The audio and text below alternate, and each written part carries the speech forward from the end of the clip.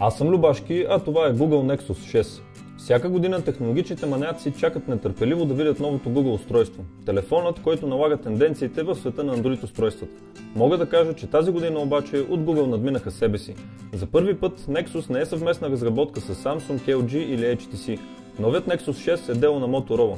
Компанията изненада някой приятно, други не толкова и извадиха на пазара първият фаблет от серията Nexus. Телефонът беше посрещнат с доста смесени чувства, но като че ли положителните наделяха. Новият Nexus е по-висок, по-дебел и по-широк дори от iPhone 6 Plus и Note 4. Диагоналът на екрана е почти 6 инча.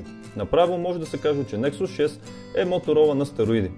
Честно казано, дизайнът на новият Nexus не е много забележителен, поне отпред. Погледнат отзад обаче, гърбът му изглежда доста изчистен, семпъл и красив. Лично аз харесвам повече бялата версия, за разлика от синята. Извивките на гърба му придават добра завършеност и по-удобен захват, но разбира се с две ръце. Трудно ми беше да боравя с една ръка и то не защото е цели 6 инча, а защото лично на мен този телефон вече ми дойде прекалено широк. От друга страна пък за гледане на клипове беше перфектен и удобен. Последно време критериите за премиум качество се градят на това телефона да има метал. Бих казал, че тук металната рамка, която обхваща целият пластмасов корпус е добро решение. Придава една елегантност, но отново я виждаме единствено погледнат отзад. За съжаление, именно тази метална рамка в комбинация с големия дисплей прави телефонът една идея по-тежък и заковава кантарът на 184 грама. Както споменах, екранът е 6 инча и това ни навежда на мисълта, че ще има доста стабилна резолюция. За този голям екран от Motorola са добавили QHD резолюция или иначе казано 2K.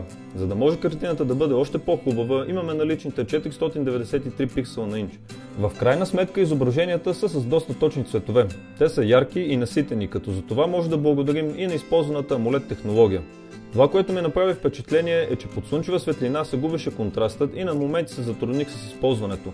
Като изключим това, големият екран е прекрасен, особено за гледане на видео и разбира се за мобилен гейминг.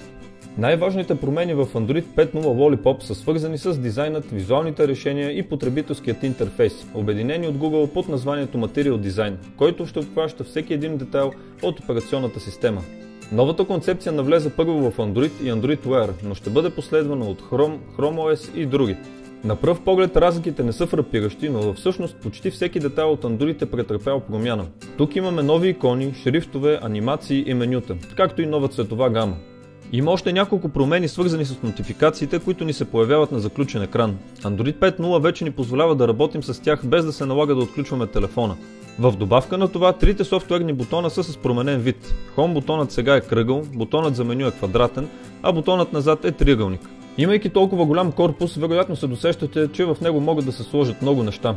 Тук не мисля, че има разочаровани. Имаме наличен 4-ядрен Qualcomm Snapdragon 805 процесор, който е клокнат на 2,7 ГГц.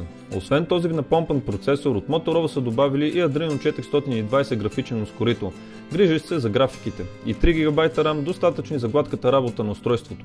Ползвах Nexus 6 за известно време и не мога да кажа, че е имал момент, в който съм забелязал някакви колебания при работните процеси.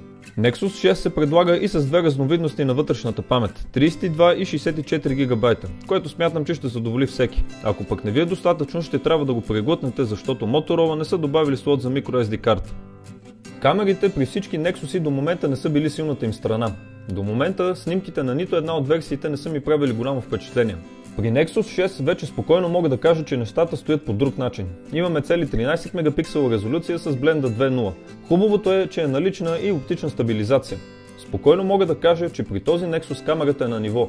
Снимките са много приятни, определено има много голямо подобрение. Зоната, в която фокусирате винаги има много детайл и цветовете са сравнително точни, макар и на моменти да се забелязва малко по-наситени цветове от необходимото. Както много пъти съм казвал, по-важното е как камерата се представя на слаба светлина, отколкото на светло. Тук отново има доста голямо подобрение спрямо предишните версии и мога да кажа едно голямо браво. Въпреки, че светкавицата на гърба изглежда масивна и предполага добра осветеност, останах леко разочарован.